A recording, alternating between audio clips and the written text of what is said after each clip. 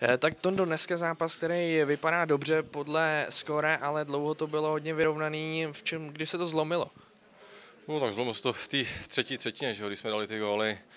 Benátky hráli dobře, dobře bránili, my jsme byli takový trošku jalový. Bylo to takový mdlý, nemělo to šťávu, ale pak jsme se tak nějak rozehráli.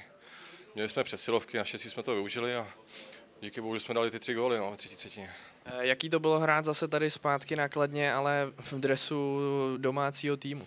Tak v začátku jsem byl takový trošku nervózní, ale pak to opadlo. Myslím si, že jako nebylo to ideální, byl to ideální zápas, ale špatný to taky nebylo. Doufám, že to bude jenom lepší a lepší. No. Eh, Ty si dneska dal gól, pamatuješ si na svůj poslední gól zakladnou, už je to pár let zpátky. Ale to si, já jsem jich tolik nedal, ale zakladnu, ale vůbec si to nepamatuju, to vůbec nevím. Eh, Jaký to je zatím pro tebe, nebo jak jsi to přivítal, tuhle změnu? Eh, Vím, že jsi říkal, že jsi spokojený s tím, ale jaký to je teď, když už jsi to ošahal tady zase zpátky? Jo, tak cítím se dobře, jako no, hraje se, jsem rád, že jsem tady, cítím se dobře. Doufám, že to bude jenom lepší a doufám, že budeme takhle vyhrávat furt.